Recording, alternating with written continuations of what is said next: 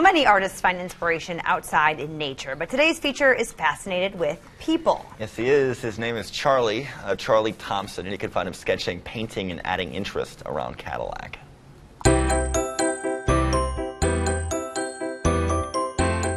I'm Charlie Thompson, and I live in Cadillac. I was always that kid who drew just a little bit better than the other kids, and like with most things, it's really not about I'm not a big believer in talent. I think it really comes down to the effort. I think anybody with a modicum of hand-eye coordination can learn to draw and paint competently.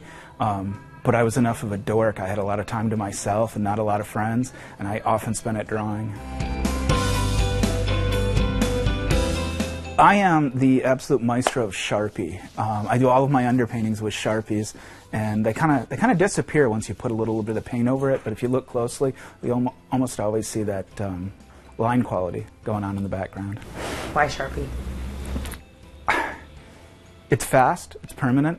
Um, you can paint over it without it moving around on you. Um, they're cheap. Uh, they're easy to get a hold of. You can use them anywhere. People.